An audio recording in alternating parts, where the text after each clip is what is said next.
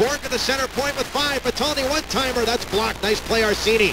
Five seconds to go, and the Pirates will get a man back. Bertoni to Bourque in the slot. Goes over to a point. One man is back. Bourque fires. Blocked down. Bears trying to keep it alive. Turn around shot. He scores! Graham Mink! Let it rain! Graham Mink scores on the power play, and it's one to one. Put him down and let's throw it.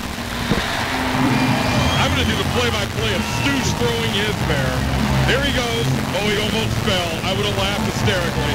There goes Stooge's throw. And about five rows short. Now, I was given this by Ed Coffey. It's like throwing a shot put. That actually hurt. Okay, Rock, you got it. You got it. Oh my God. Well, that's not going anywhere.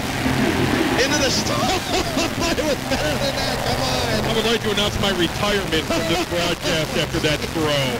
I didn't want to take out the, you know, Justin's grandfather's banner up here with my with my throw, but oh boy, what a play there! Graham Mink scores on a beautiful turnaround shot. He beats Pogge, and we have a tie score, 3:32 to go. And now we have a little time to chat as they clear up a plethora of flush from the Giant center ice. This is a fantastic play. promotion.